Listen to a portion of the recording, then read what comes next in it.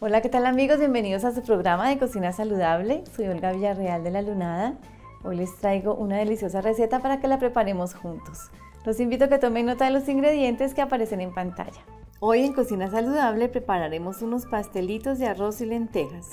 Los ingredientes que necesitamos son los siguientes. Una taza de arroz integral cocinado. Media taza de lentejas cocinadas.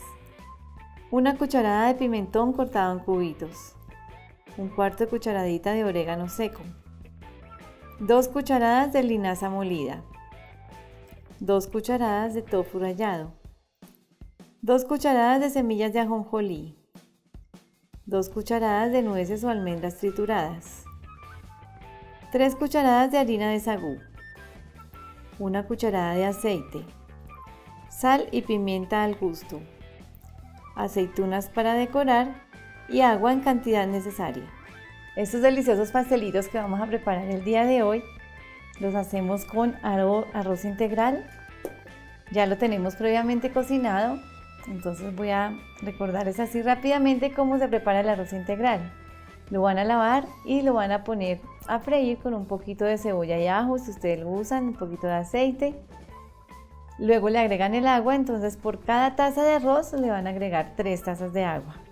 Lo tapan desde el comienzo, siempre, siempre tapado.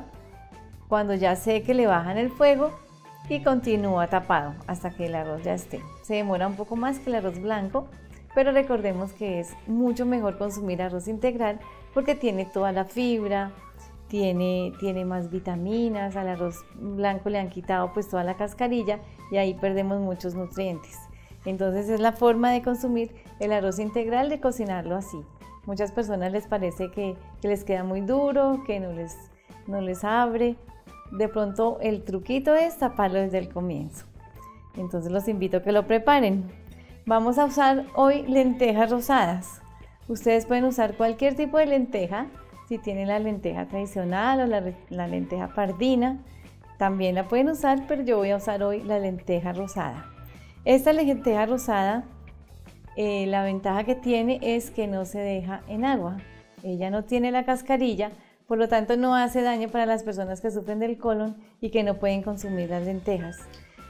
Las, las lavan y las ponen a cocinar unos 10 minutos nada más. Es muy muy suave y se presta para hacer muchos purés, para hacer cremas. Aquí hemos preparado diferentes recetas con las lentejas rosadas.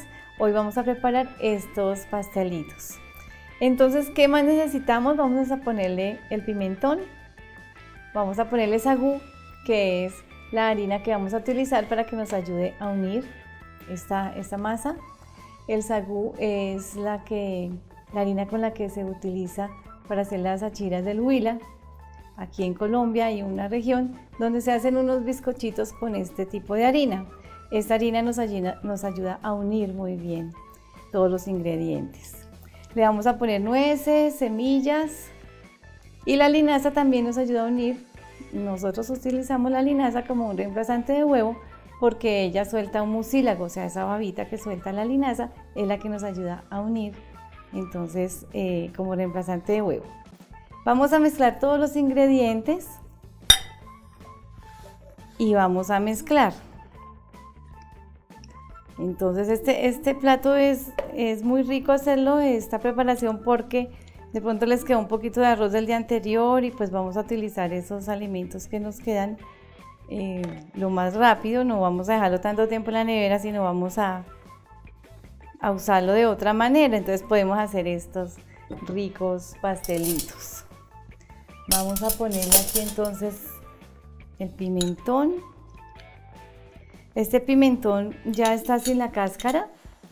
También hemos visto en otros programas cómo le quitamos la cáscara al pimentón para que no sea pesado para el colon. Le vamos a agregar un poquito de pimienta, es opcional, si no les gusta la pimienta no le ponen. Lo mismo la sal. Aquí el arroz tenía un poquito de sal, pero las lentejas no. Entonces le ponemos poquito. Aquí tenemos las nueces o almendras o cualquier fruto seco que le quieran poner. También le pueden poner maní o el que tengan a la mano. El orégano que es la especia que le vamos a poner para que le dé un sabor especial. Si no tienen orégano, pueden ponerle también tomillo o laurel, albahaca, cualquier hierbita que nos dé sabor. Esto es lo que nosotros utilizamos. Todas estas hierbitas nos ayudan a darle sabor a nuestra comida. Por eso la comida vegetariana tiene sabores tan deliciosos, porque es la mezcla de esas especias.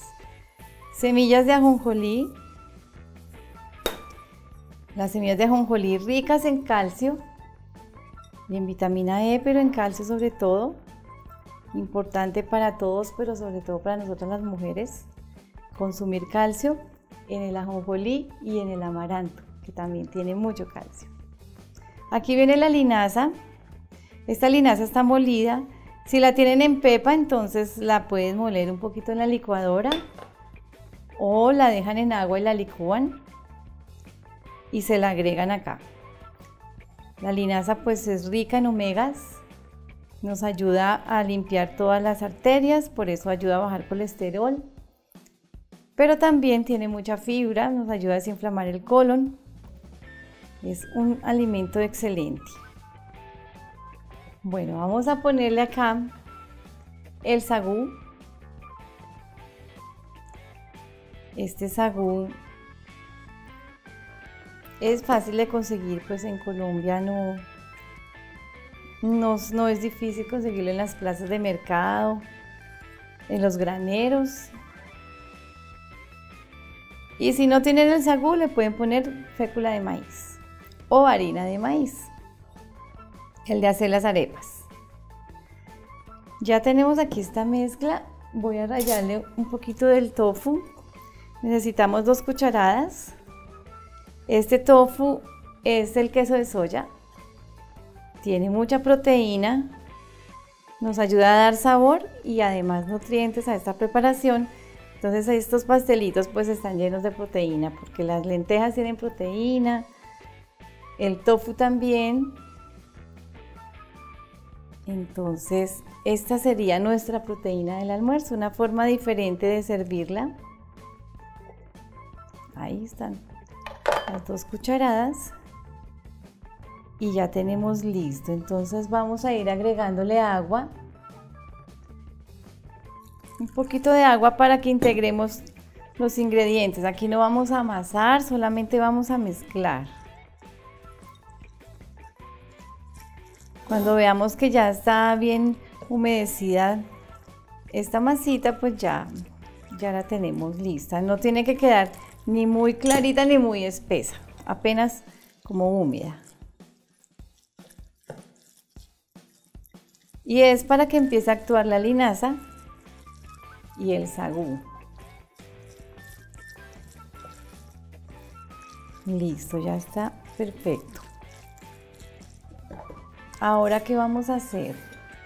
Vamos a ponerla en moldes en estos moldecitos donde vienen, donde hacemos los muffins o cualquier moldecito que tengan para hacer, para hacer las, eh, las torticas, ahí los pueden hacer. Si no tienen estos moldecitos, pues los hacen, hacen una torta en un molde grande y luego la cortan. Es, es bien fácil. Bueno, vamos a poner, a llenar los moldecitos y al final los vamos a decorar con las aceitunas. Mientras tanto les voy recordando nuestras redes sociales. Nos encuentran en nuestra página www.lalunada.com. Allí van a encontrar información de los cursos virtuales y presenciales que tenemos para todos ustedes. También nos encuentran en nuestro Facebook. Estamos como La Lunada Tienda Vegetariana en Instagram como La Lunada Cocina Vegetariana, en www.latiendanaturista.com y por supuesto en nuestro canal de YouTube nos buscan como Hogar TV Channel. Allí van a encontrar esta receta y todas las que hemos hecho acá, además de toda la programación que tiene el canal. Bueno, entonces aprovecho para saludar a las personas que han venido a visitarnos. Gracias por venir, por venir a conocernos, hablamos un ratico, nos conocemos y pues es, bien bonito, gracias a las personas que nos escriben también. Nos encanta saber que lo que hacemos pues les sirve y que les gusta. Bueno, aquí ya terminamos, entonces miren, nos salen cuatro muffins de ese tamaño que tengo yo acá. Si ustedes necesitan hacer más, pues duplican esta cantidad. Y aquí entonces vamos a cortar estas aceitunas. Vamos a cortarlas así como en, en tres para decorar. Para decorar aquí los, nuestros muffins. Todas las que quieran, si le quieren poner aceitunas adentro también está perfecto. Le pueden poner dentro de la masa un poquito de, aceitunas picaditas. Y si no les gustan, pues no les ponen. A mucha gente no le gustan, entonces pues no le ponen no le ponen aceitunas. La decoran con otra cosa. Pueden decorarlas con perejil ya cuando las saquen. Bueno, ya tenemos listo acá. Ahora las vamos a llevar al horno. Un horno precalentado. Recuerden que siempre hay que prenderlo unos 20 minutos antes. También eso depende del horno de cada uno. Lo dejan calentar a 180 grados y los vamos a, dejar allí unos 15 minutos hasta que ellos eh, ya veamos que ya tienen consistencia y que ya ya están cocinados. Pues como todo aquí está cocinado, solo estamos esperando que se cocine el sagú y que haga pues la unión de todos los ingredientes. Entonces voy a llevarlo al horno, esperamos los 20 minutos, 15, 20 minutos y ya nos vemos para mostrarles cómo quedaron nuestros pastelitos de arroz y lentejas.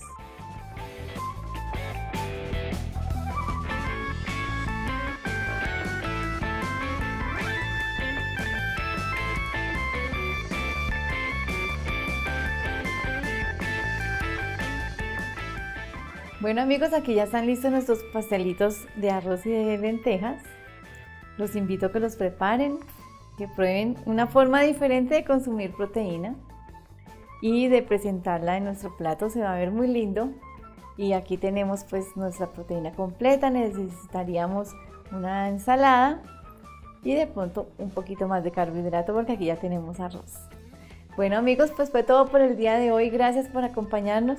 Espero que en otra oportunidad nos veamos y sigamos preparando la deliciosa cocina vegetariana. Recuerden que los esperamos aquí en La Lunada, estamos en Galerías en Bogotá y también que nos visiten en nuestra página lalunada.com o que nos vean nuevamente en nuestro canal de YouTube, nos encuentran como Hogar TV Channel. Un abrazo para todos, bendiciones, hasta pronto.